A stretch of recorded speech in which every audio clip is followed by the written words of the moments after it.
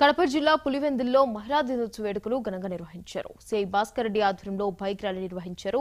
Rally అనంతరం మిట్ట మల్లేశ్వర స్వామి దేవస్థానం కళ్యాణ మండపంలో అధికారులతో సమావేశం ఏర్పాటు చేశారు. ఈ సమావేశంలో ఏపీ డీజీపీ జిల్లా ఎస్పీ వీడియో కాన్ఫరెన్స్ ద్వారా రాష్ట్ర ప్రభుత్వం మహిళల కోసం అమలు చేస్తున్న దిశా చట్టం గురించి చర్చించారు. నేను ఈరోజు మహిళా దినోత్సవం ప్రపంచ మహిళా దినోత్సవ సందర్భంగా మాట్లాడుతున్నాను. ఒకప్పుడు మహిళలు అసలు ఇళ్ళలో నుంచి బయటికి రావాలంటేనే భయపడేవారు. ఇప్పుడు ప్రతి రంగంలోనూ రాణిస్తూ మగవాళ్ళకు ధీటుగా మేము కూడా అన్ని రంగాలలో రాణించగలుగుతాము మేము కూడా చేయగలుగుతాము అని ఒక పోలీస్ రంగం అయితేమి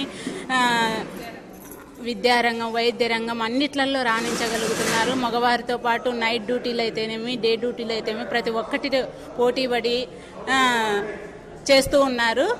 ఇంకా కొద్దిగా ఫియర్ అనేది పోవట్లేదు లేడీస్లో ఆ ఫియర్ పోవడానికి దిశా చట్టం అని కూడా తెచ్చిన మంచిర్యాల జిల్లాలో